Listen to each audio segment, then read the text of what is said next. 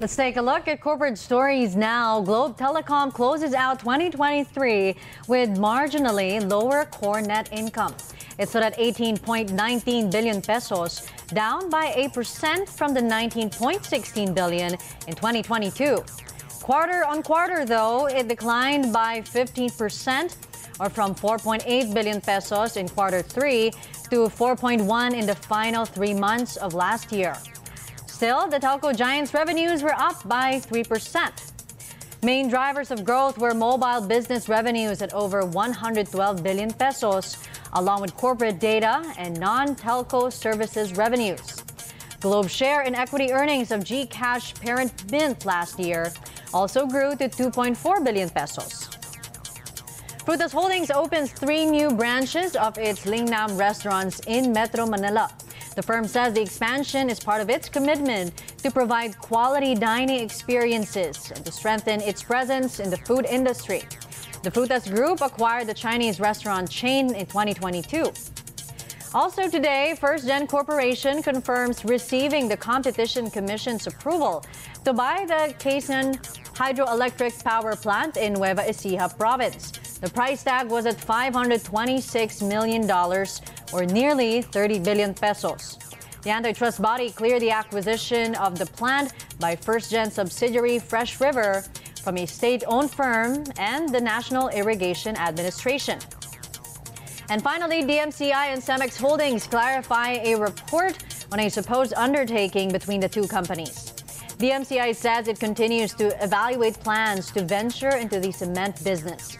It disputed an online report which talked of rumors DMCI is taking over a subsidiary of Cemex. Cemex, meanwhile, says that while it's looking at divestment opportunities, it has no knowledge on the report.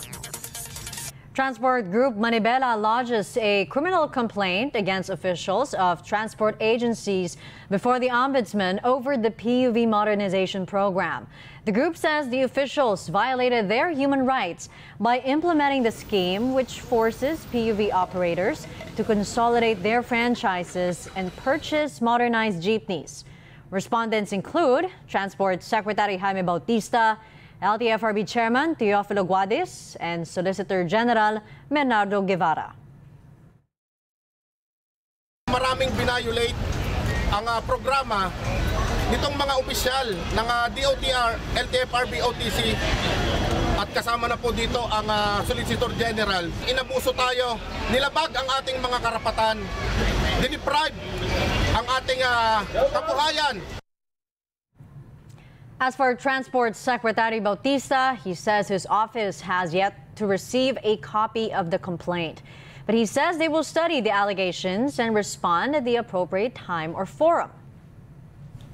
President Marcos underscores his administration's commitment to improving the mass transport system across the country. Marcos attended the 125th founding anniversary of the Department of Transportation and the ceremonial signing of the civil works contracts for the Davao Public Transport Modernization Project. He touted the project as a game changer that will provide a template to building public transport systems in other cities. This is more than just a ceremonial signing for the civil works of contracts for the Davao Public Transport Modernization Project. It is a strong reaffirmation of our commitment to develop the Davao region. It is a demonstration of our resolve to deliver what people in all regions deserve a mass transportation system that can move commuters and commerce efficiently. There is no better there is no better place than this city to renew the pledge that no, there's no better time than today. Earlier in the day, President Marcos, in a separate event, led the distribution of e-titles to land reform beneficiaries in Davao City. Let's now go to the latest jobs reports here at home. Philippine unemployment falls further at the end of 2023. The number stood at 3.1% in December, or at 1.6 million Filipinos out of work. This was down from the 3.6% or the 1.83 million jobless persons in November. It's also lower than the 4.3% in December 2022. However, underemployment continued to rise, coming in at nearly 12%. Those who have jobs but still look for extra working hours climbed over 6 million in December. Let's break down the numbers per sector. The services industry had the highest number of jobs, making up 57% of total employment.